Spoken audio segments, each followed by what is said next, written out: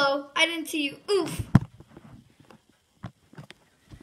I meant to say, Hello, I didn't see you there. My name's Freddy, and I'm gonna be in my own movie. It's called Freddy. Three, two, one. Let's show you some ads.